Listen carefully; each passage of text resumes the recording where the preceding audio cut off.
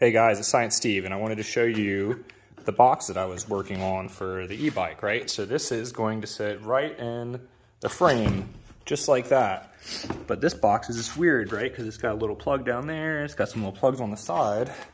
Well, let's pull this out and open it up and see what I've tucked in here.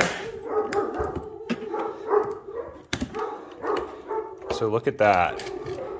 Big old controller, 12 volt step down, 72 volt battery. We've got our disconnects in here.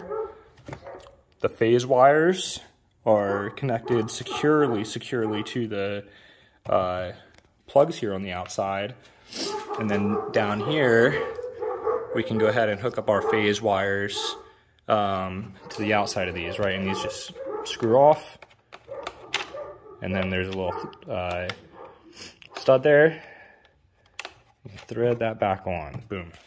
So we've got phase wires, power wires, charging wire with a disconnect right there.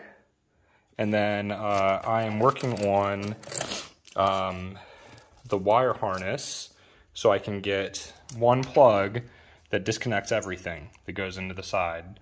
So when you separate this from the bike, it'll be boom, boom, boom, one plug, and the whole box comes off. Pretty cool, huh?